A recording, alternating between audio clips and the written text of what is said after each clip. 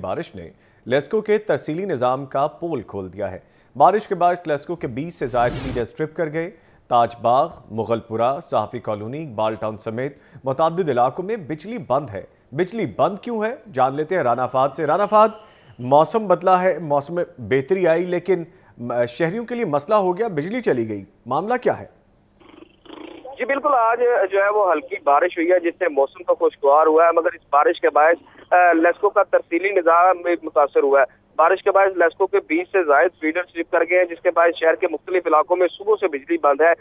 جن علاقوں میں بجلی بند ہے ان میں تاج باغ، مغل پورا صحافی کالونی داروگا والا، اقبال ٹاؤن، مصطفیٰ ٹاؤن، سبزہ زار مرغزار سمیت متعدد علاقے ہیں جو جو ہے وہ صبح سے بجلی سے محروم ہے جبکہ لیسکو انتظامیہ کا کہنا ہے کہ لیسکو کا فیلڈ سٹاف بجلی بحالی میں مصروف ہے، جلد ہی تمام متاثرہ علاقوں میں بجلی بحال کر دی جائے گی۔